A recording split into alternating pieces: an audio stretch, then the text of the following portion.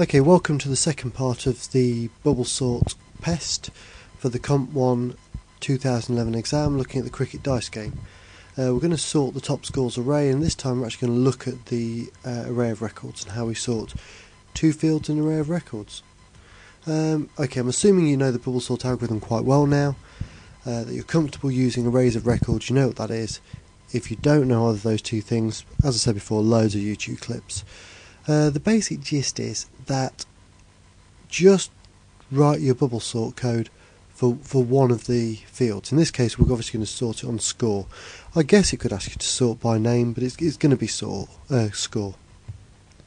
Um, and then after you've got that done, you can sort of repeat the little sorting bit of the algorithm, the swapping bit of the algorithm for the other fields. Um, don't forget, there could be another field in by that stage. It's not beyond the realm of possibility for them to ask you to add in a third field. Um, now, I don't think they will, but maybe they could give you the pseudocode. Uh, it may be that writing the bubble sort could be the section B problem. It's unlikely, but it's possible. So uh, let's quickly flick to our code. Um, and what I've done is I've just put in the program interface for a procedure called sort top scores. I've also added in uh, a menu item just like we did when we saved top scores. Uh, if you want to go over that, look at the save top score pest. That shows how to add in an extra menu item and how to to whack in um, a call for this procedure. Obviously, I'm passing it the top scores array. So uh, we to get started really. Um, the first thing we need to do is um, is stop this blinking thing work. Okay, the first thing we need to do is to add in some uh, variables. So I've got four variables here. I've got something called sorting elements, and that's basically an idea to say how many of the elements I'm actually going to be sorting at any given time. And I'm going to initialize that with max size, which is the, the number of elements in the array i.e. the number of top scores we're dealing with. I've got a couple of temporaries, uh, something called swap score and something called swap name. Swap score is an integer, swap name is a string because that's the data type of the fields that we're going to be swapping. And I've also got a boolean called swapped and that's going to be there to control a loop a little bit later on. Uh, and let's get straight down to this first loop. The idea is that I want to keep doing this until I don't need to do any more swapping. I, I've been once through the loop and there hasn't been a swap at all. Because if there hasn't been a swap, everything's in order. So within this loop, I'm going to initial, I'm going to set swapped to be false, and I'm going to loop until swapped equals false. Now clearly I'm going to put something in between this that sets swapped as true if there has been some swaps.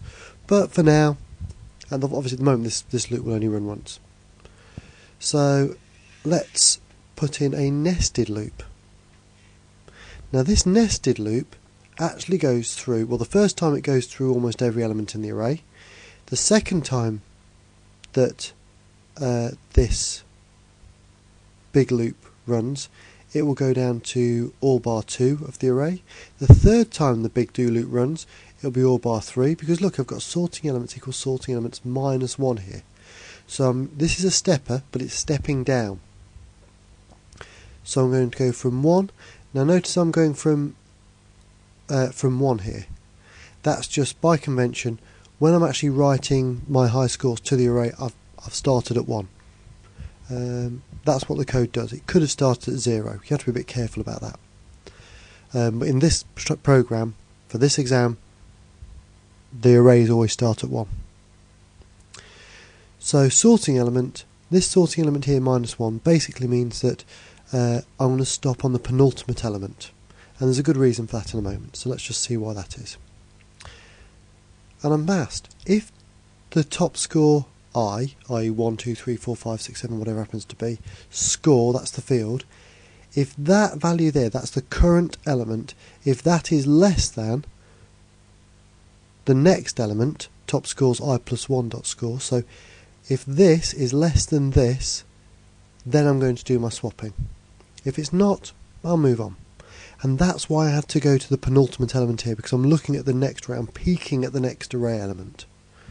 And if I go all the way to the end of the array, clearly when I go to i plus 1, I'm looking past the array, I've fallen off the bottom, I fell off the bottom. So if that swap happens, obviously need the code to work, and this is exactly the same swapping algorithm as you saw in the previous video where I looked at the uh, the bubble sort algorithm generically, where effectively I'm assigning the current element to a temporary, then whacking the next element into the current element, and then taking the temporary and putting it into the next element. So it's sort of like a three-way swap, if you like.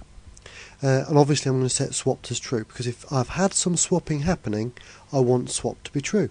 Now, brilliant, that's it. The only problem is if I've only swapped this, then the scores will become um, basically dislocated from the names. They'll become the scores will be uh, swapped and in order, but the names won't be. And of course, we want to keep the names with the scores. So what we're going to do is put in an identical little algorithm structure, but rather than it being dot score, the score field is going to be dot name. So these are both different fields of the same array of records. This one swaps the score, this one swaps the name. Because they're going to happen uh, at the same time within the same if statement, within the same bit, within the same run of the for loop, the i's are going to be the same, the i plus 1s are going to be the same, so the elements are going to stay together. And that that's the crucial bit of it really. That I can swap one bit of the array of records with another bit of the array of records and they'll stay together.